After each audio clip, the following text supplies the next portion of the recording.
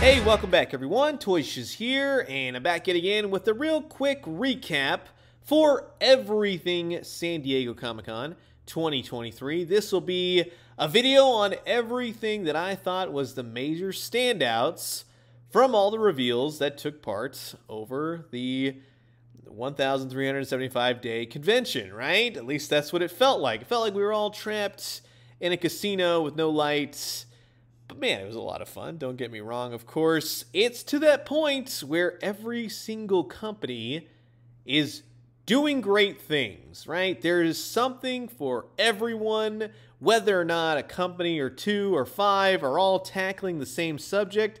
It's kind of hard to say, dang, yeah, it's, it's, how am I going to pick and choose between these? From tons of articulation to an excellent sculpt, different scales sky's the limit. Everyone is doing something rad. There is something for everyone. And it's really to that point where space is definitely becoming an issue. I don't know about yourself, but yeah, I'm certainly running into that problem, that's for sure. But like I said, in the meantime, right, this is going to be a real sweet vid, just everything and anything, all the great photos and whatnot that showed off San Diego Comic Con 2023. So, in the meantime, sit back, relax, grab yourself a nice hot cup of coffee. You got to do that. That's integral to your viewing, right? I'm sure these are the absolute best of the best reveals of San Diego Comic Con 2023, at least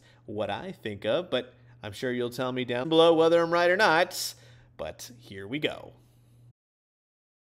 So first and foremost, now I'm going to tell you, this is quite amazing. Let's just say that. It's it's $1700. I'm just going to say if you bought it at Comic-Con, it was 1,500.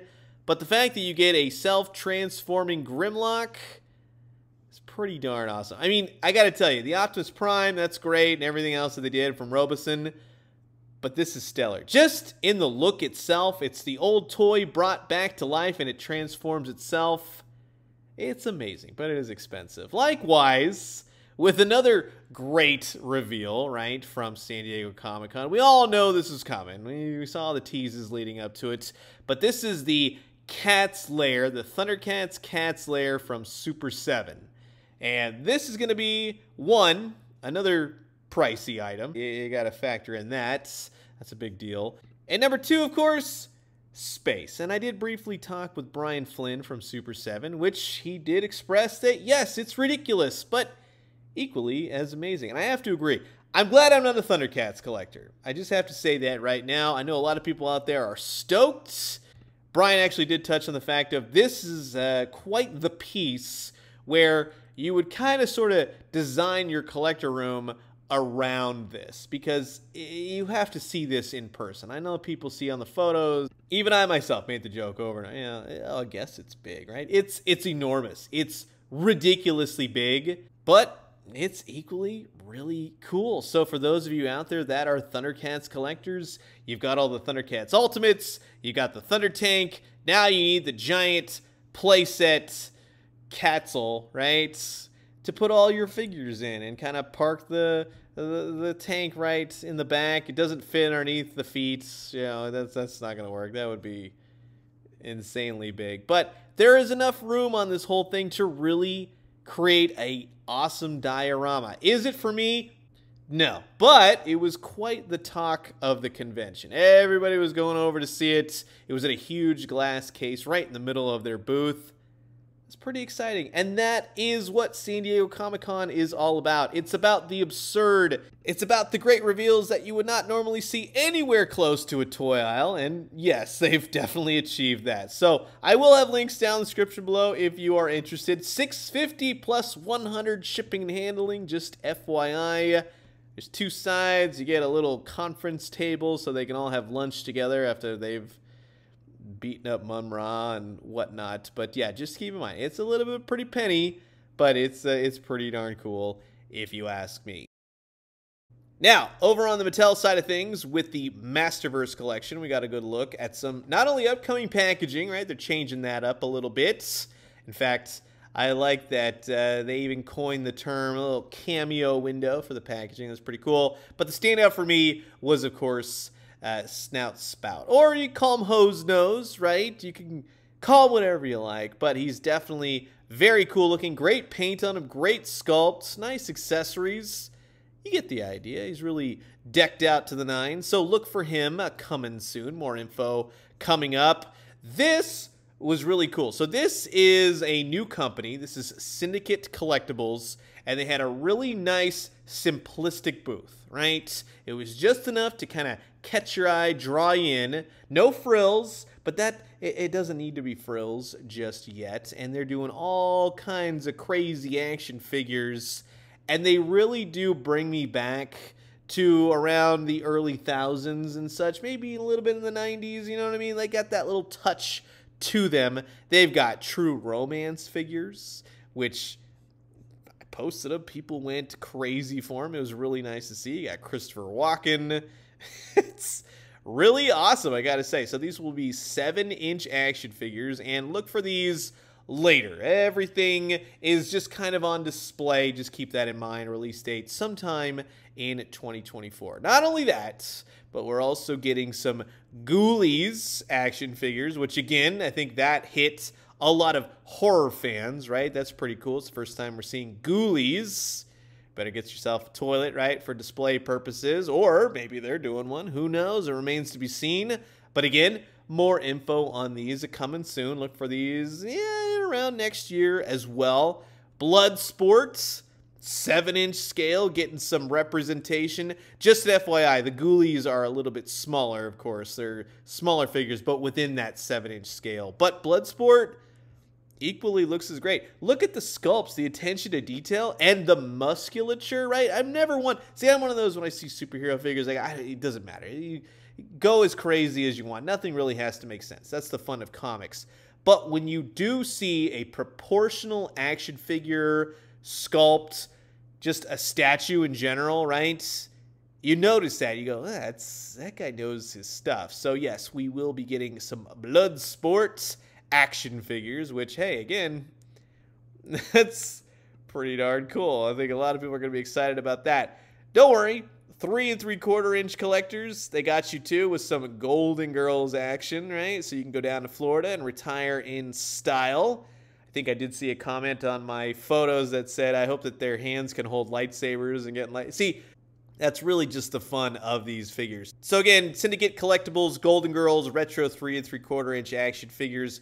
Mostly everything you see from Syndicate is going to be around 2024, including this amazing looking Pumpkinhead. There are a few scales to this guy, so more info on that later. But Pumpkinhead looking all sinister as ever. The sculpt, the paint, just the work on this, man oh man. So there's going to be different scales, like I said, but remains to be seen. We'll see what actually comes out. But uh, yeah, the 112 scale Pumpkinhead, for instance, around 2024. SRP to be determined. So we will see soon enough. To then go from Syndicate Collectibles over to Jada Toys they did have some new Mega Man figures on display. This one with Mega Man and Fireman and Iceman, these are Wave 1. I think that these look absolutely fantastic. They totally remind me of Jakks Pacific with their whole Mario line, right? I love the attention to detail, the colors, the look. They absolutely nailed it. Much into Wave 2 with Elec Man and Cut Man, and you got the you can help me out. The green Mega Man, I think it's Grass Blaster or whatever it is. But Elec Man, he looks great, and I loved playing the old Game Boy game. I still have that, right, with all the robot masters. Cutman throwing his little blades at you. That's awesome. The facial expressions are awesome. So, very stoked on Mega Man so far, and they even showed off Wave 3. So, again, what really draws my eye to these, the colors, the sculpt, the fun is brought forth that you saw with the actual video game itself in all manner of the video game, 1 through, what are we on, 10, 11, something like that. Again, having Mega Man with the unmask, that's very cool as well. So again, all these Robot Masters, everything you see here, look for more details coming soon. So you'll probably see these well into early next year. Now, over on the McFarlane end of things, they didn't have too much on display, right? They did have the initial showing the preview party sort of deal where they had product that we've already seen, but during their panel, and I'm a huge fan of their Batman 66 line. Now, it's going to deter a little bit from the actual show, but they're going to start implementing some of the cartoons, the straight to DVD cartoons, and then, of course, the comic book. The one in particular for me that really stands out that I've really wanted and been asking for is Lord Deathman. So I'm absolutely stoked on him. Over in the actual DC multiverse, though, we will be seeing the more collectorish $30 figures. And of course, this will be wave two. And they've really kind of, hopefully, we'll say, upped it. You can check out my video now. I go into a lot more detail. But I'm really digging that Total Justice ish Hawkman. You got Firestorm.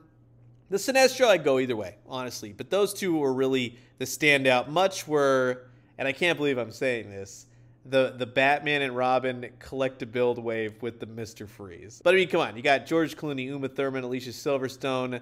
You have Arnold Schwarzenegger, and of course Chris O'Donnell. What a lineup, right? Very cool. Awesome to see them tackling this.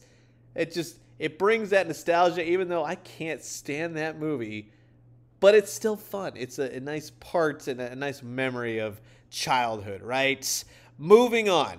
Now this is this is where this is where we're gonna get heavy, right? This is this is gonna be amazing. So in the NECA Toys booth, what I really liked is that they kept bringing you back every single day. And when it came to the Ninja Turtles, and they have a ton of Ninja Turtles. If you want a booth tour of the entire shebang, you go on my Instagram, I'll put a link down in the description below at Blainer Things from NECA. Walk me through the entire thing. It was killer. They have so much coming. It's insane. Ninja Turtles being the biggest one, of course, but they got gargoyles. They've got dinosaurs. I mean, it's insane. So the big reveal for me, of course, was the Archie Wrestling Turtles. This is one that I have been asking for well, ever since I was a little kid, reaching the Archie TMNT adventures, right? With the whole intergalactic stump wrestling arena, right? And you got all the turtles. Here's a here's a little quiz for you guys, for those of you out there that know which turtle out of the four ended up winning the Stump Intergalactic Wrestling, and who was the final opponent that the winning turtle had to battle. Hopefully, we'll see them as an action figure as well, right? Uh, anyways, I absolutely love the black costume for Raph. Leo's looks great. Donatello looks awesome. I mean, they they absolutely nailed it. Just to kind of give you a heads up, yes, these are just prototypes that are on display. They will have full articulation, no problemos, and like all the other NECA toys that they do for the cartoon TMNT, they'll have accessories and the whatnot. So I'm very, very stoked on these. And that's not it. Not only did they have Ken Mitchroney doing signings, which I did not get to attend. I really wish that I could have shook that guy's hand for all the amazing artwork that he did when I was a kid growing up. But another one of those is, of course, Belly Bomb. And I'm very stoked on the way this guy came out. He looks amazing. Again, TMNT Adventures, for those of you out there, he will have a moving jaw. The eyeball will be able to shift and look around. That's pretty cool, right? They go all out at that NECA Toys. That tells you what, he just looks killer. So, you can look for all these coming soon, basically. If you notice a little Krang down there, I did get my hopes up.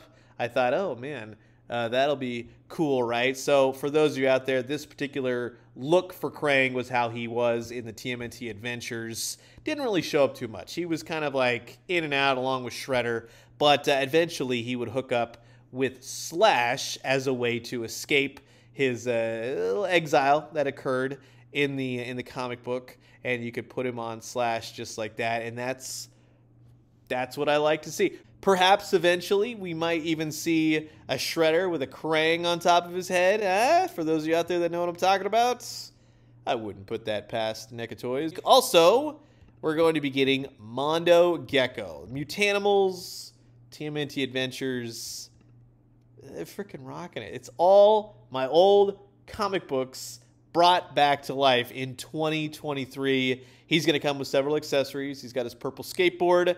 I mean, I would love to see them do Candy Fine. That would be amazing. He looks great. Zilu over on Instagram, I believe he had a hand in most of these, just FYI. Go check out his page for the full details. But like I said, all of these, Mondo Gecko included, uh, yeah, will be coming soon. And then when everybody saw this, it was kind of like the Cat's Lair, but like in reverse, because you're like, well, it's not as big as a Cat's Lair, but to have an 18 to 20 inch Krang's Android body for my collection, I mean, why not, right? So this guy, I did briefly talk with those at NECA Toys. He's going to be, again, around 18 to 20 inches tall, give or take. He will have swap out accessories. They are still trying to figure out what they're going to do with him as far as where he'll be available. So look for more details on that. And uh, yeah, he it is absolutely massive. I mean, I would not put it past them to include a little Teenage Mutant Ninja Turtle so you can slip in underneath right in his neck and do some damage, right? Break the little power stone that Donatello has to hit with his bow staff. So that's amazing. I shrink him back down the size, but yeah, it is killer, so killer to see this thing in person. I cannot wait to add this to my shelf. My Ninja Turtle collection for the cartoon stuff just looks absolutely amazing. And equally as amazing, everything that NECA is doing for the Mirage Turtles line. Again, everything that they kind of started showing, right? They kind of put things in every other day, right? That little reveals and Leatherhead was one of those. And if you don't know Leatherhead from the Mirage comics, I know a lot of people think of him as Playmates or even TMNT Adventures or the newer type stuff. Leatherhead was a very complicated character, and it, the artwork back then, it just it really just resounded with me as a character. I absolutely love Leatherhead. So in every way, shape, or form, yeah, NECA did a great job in the sculpt. He looks amazing. I'm really looking forward to getting this guy. He's even got the little patch in the eye, right? That's pretty darn cool. I got to tell you though, if I really had to pick a favorite, it, it's not going to be my absolute number one favorite. That'll be at the end of this video, but it's pretty darn up there. It was a little bit of a hidden Easter egg when we kind of finalized the booth tour, but the Rat King is coming, and that is one of those, especially especially in the Mirage comics the Rat King is this just bizarre character. And I always love to look at him. He's creepy. It's weird. He has this really odd relationship with Splinter, right? In so many ways.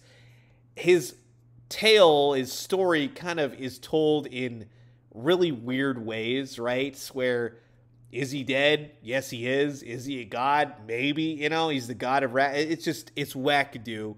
But the design of the character is really what stands out. So again, I cannot wait for this. He is every bit the monster that he thinks he is. got a little rat right there, right? It's killer. They absolutely nailed it. So Leatherhead and the Rat King, some of my favorite reveals. Absolutely, hands down. Now, over on the Marvel Legends route, we did know that these were coming, right? We did know that they're going to be getting X-Men 97. You got the little three and three quarter inch figures, which totally after. But then I saw the Marvel Legends, and I'm going to be honest with you. When I first saw them, they had really blurry photos because everybody took them with a potato, apparently, right? When they were kind of teasing it before the official reveal at the Marvel Legends panel. But they're going to be on a retro card. They're going to be specifically aimed at the new X Men the Animated Series for the 97. And Wolverine looks great. I honestly will tell you, I think that that is the best Wolverine head sculpt they have done thus far. If they would have put a little blue in the hair, really kind of spruced him up, it would have been even better. He always kind of comes out looking like an old woman, but I love the colors, the yellows. He's pinless this time around. This, when I first saw them, kind of was like, I, I already have these. The, the, these are not going to be much that I need to uh, really go after. And lo and behold, when I saw them in the glass case, really up close and personal, they they are very well done, and I'm actually really stoked on that. That they actually really went the whole nine yards on these. They look like the animated property. What you're seeing in the little tidbits that we've gotten for X Men '97. Bishop looks great. Now he is a little bit redesigned from his initial looks on X Men the Animated Series, which is totally fine. Character progression and all that. So, really digging the way Bishop looks. And they even made the comment to say, you know, if you're not really going for X Men 97, these will fit pretty much flawlessly into your Marvel Legends collection. Gambit, I think he really does fare the best. I really do like that Wolverine head sculpt, but this is a head portrait that really stands out, and he does look incredibly animated, which then I am definitely looking for. That's really where I'm at with Marvel Legends. Everything and anything animated, Spider Man animated, X Men animated. I'm having the most fun with that. It's got the playing card. Largely, you could kind of say he might end up being pretty much the standard Gambit that you may have in your collection, but that head portrait really does him a lot of justice. Same thing with Storm. Now, depending on the design, I really wish that they would have put in some heels on her to really kind of differentiate her. I really like the head portrait. I like that they're going more for the mohawk now with Storm, so that's really cool to see. But at the same time, it's not exactly what I think about with Storm. So this one is kind of like, yeah, okay. Like, don't get me wrong. I, I, say this now, but I will be grabbing this entire collection. But I'm a huge fan of the original design for the original series of Storm. And really, it's kind of the same thing with Rogue, right? There's little subtle changes here and there. It's kind of like Batman the Animated Series, and then when it came back for TNBA, right? Little subtle changes here and there. Maybe we'll have some big changes as well. She no longer has the brown coat. She's got the green coat that's part of the animation. At least that's what we see for the promos and whatnot. So again, yeah, Rogue looks pretty good as a updated design. But I got to say, as far as all these figures, the one that really stands out the most to me because I don't have an updated Magneto. I know. I took my time with that family three pack, right, with Magneto and Quicksilver thing, and I, I goofed it, and then it went astronomical in price. So I'm glad I get another chance at Magneto, and it's every bit the Magneto I think about from either video game to X Men the Animated Series to Jim Lee comic books. Yeah, that's a stellar looking Magneto. I know it's probably not going to be everyone's cup of tea, but dang, he looks pretty good. So I'm really stoked on all of these. Thanks so much for checking out my photos. They did send press images, but I thought, well, at least where I took photos, we can definitely look at those. Now, real quick, over on the Cowboy Bebop side of things, we're going to be getting the Fig Zero version of Spike Spiegel. He's a 1-6 collector edition.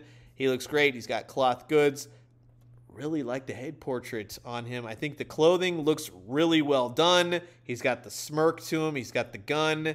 Believe it or not, he's got the cigarettes. It's a little bit bent, right? When he, a couple episodes, he pulls it out. His cigarettes always got damaged and whatnot. So I just laughed. I, after coming out of the Comic Con Museum on last week during Tuesday, they had an opening thing, and having a big Cowboy Bebop exhibit kind of had Cowboy Bebop on the brain. So that was like, oh, yeah, that's that's pretty darn cool. So this one will be through threezero, Bandai Namco, and Crunchyroll, and it will be coming soon.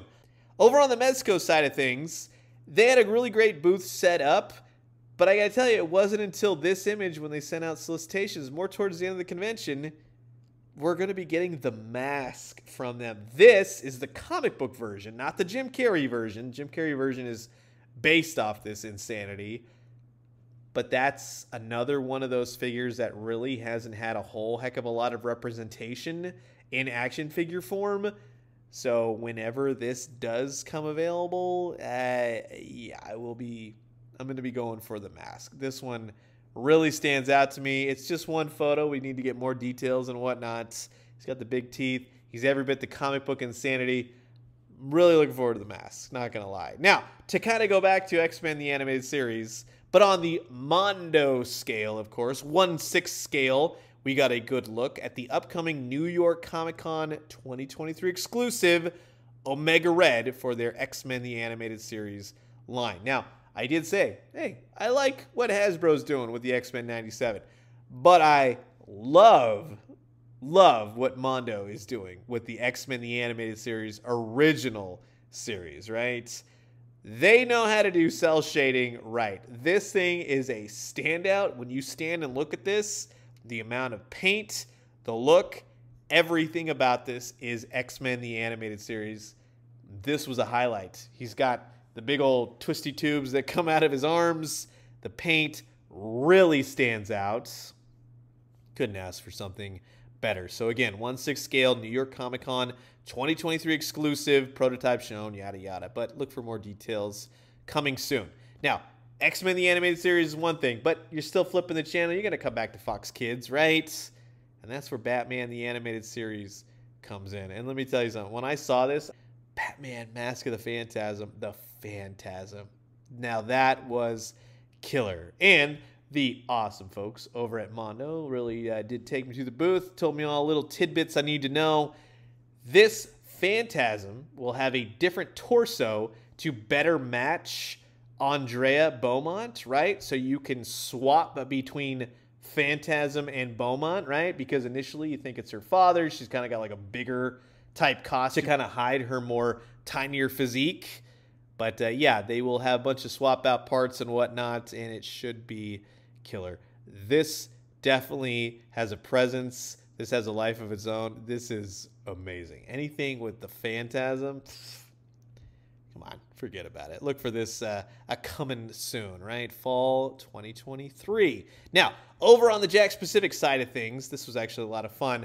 They had a really quick panel, right? They showed off some of the new 2.5 inch Mario playsets. They do have, if you want to head over to their Instagram, they have a little video and such. You can look at how this thing really moves. Deluxe Bowser Battle Playset. It's supposed to enact where you would reach the Bowser at the end of every Super Mario level, and you have to hit the axe, drops the bridge, he falls in the lava. You get the idea. And it actually does that. It lights up. It's got sounds. It looks amazing. So it does every single thing from the video game, and that's what Jakks nails every single time from their playsets to the 2.5 inch figures to the 4 inch figures to the movie figures and everything World and Nintendo, right? I love what they're doing over there. And plus, they revealed for the 2.5 inch figures, you're going to get a giant wiggler. So you could say from SNES, N64, everything and anything.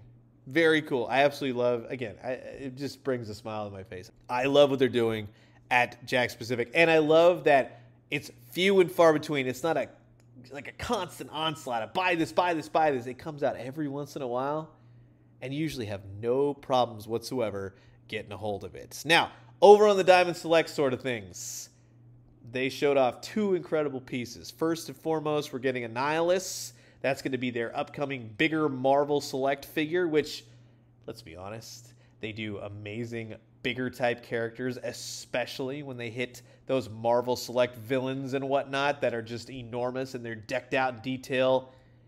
They're great for Marvel Legends figures, right? To have those bigger type characters because, well, Diamond does it right. Nihilus is going to come with a ton of extra hands. He's going to have effects. He looks amazing. These are just renders, of course. He's got the big wings, but you can really pretty much know what to expect looking at these. Likewise, with the Crimson Dynamo. This is going to be another one of those great Iron Man figures that they've been making lately. So he will come with alternate head portraits, right? Ivan Vanko, pretty darn cool, energy effect and whatnot. So look for more details on these coming soon. These are just early reveals and whatnot but we will definitely see some more coming for these uh, coming soon. Now, just want to say thank you very much for watching this video. Thanks for sticking with me. I'm, as always, curious to know what you guys think about all of my choices for what I think about as being the best of the best reveals because it's what I like to collect. But eh, for those you know me, for those you know my channel, of course, my heart belongs to Spider Man the Animated Series. And during the Marvel Legends panel, they revealed the fourth box set for the VHS line. Now, it's Smythe and Peter Parker. Season 2 Peter Parker, right? Let's look at some better photos, of course. Smythe being one of those that I have been wanting for years, ever since the Toy Biz. The Toy Biz figure is the only other figure of Smythe when he's the ultimate Spider Slayer. Now, he debuted at the 90s, then subsequently he debuted on Spider Man the Animated Series. I did joke around the Marvel Legends team, and I said, you know what? I'm glad that he has this sweet spot between Spider Man animated and the comic book because while he is every bit Spider Man the animated series, I'm glad they didn't put those little nipple things on the spikes coming out of his shoulders. All right? Let's just be honest. But yeah, that's Alistair Smythe. He's got the yellow lenses, or at least he's got yellow eyes, right? So I definitely appreciate that. He's got that really cool insectoid bug like body that, well, in the animated series, Landon ended up uh, making him a cyborg essentially. So he's awesome. He rocks. He comes with extra hands. That's it. No extra heads, nothing like that. Just extra hands. And likewise with season two, Peter Parker. Now, this again is another one of those instances where I said to them, why did we go with season two Peter Parker over season one with the polo shirts? And they kind of laughed and they said, well, this version really does fit. And I do agree with that. He had this in season two all the way to the end of the show. So he definitely had this look a lot more.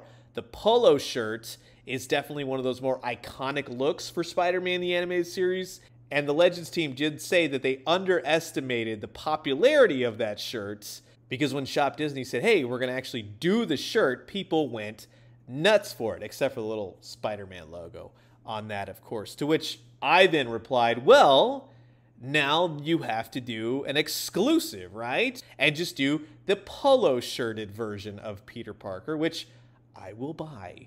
Definitely. By which then I added, of course, if you're going to do the polo shirt Peter Parker as an extra bonus, maybe an exclusive somewhere else, put it on Pulse. I'll get it. I don't care let's do the Aerosmith version of Peter Parker from the Alien Costume Saga. And that will be a little bit of a, a nod to the animated series opening. It's a wacky, wild design. It looks great. And I do like it. I think everything else about it definitely works. And he comes with a camera. So, again, it's every bit season two Peter Parker. And believe it or not, this two pack actually does make sense because in the episode, uh, Smythe ends up calling Peter Parker. He talks to him. He briefly talks to him on the phone, so it definitely works. If this would have been a polo shirted Peter Parker with the chameleon, so you could say Day of the Chameleon, sure, that would have worked as well. But you can clearly see everything that they come with. You got thwipping hands for Peter Parker. You've got open and fisted hands for Smythe. Parker's got the camera. Very stoked on this. This is my favorite reveal. Uh, more of this, please. X Men the Animated Series, 97, all that jazz. But Spider Man the Animated Series, it just looks awesome. Very stoked on this. You can see all that gorgeous artwork from Harry Moore Design, which again, I missed him as well. So, Harry, if you're listening, I'm sorry I didn't come by. It looks awesome. He had prints. he was signing in the booth and whatnot.